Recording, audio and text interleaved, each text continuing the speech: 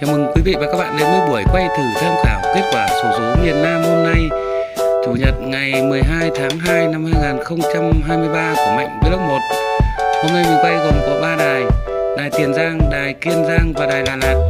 Chúc các bạn may mắn và đánh những cái chuông đăng ký ủng hộ Mạnh Vlog 1 một đăng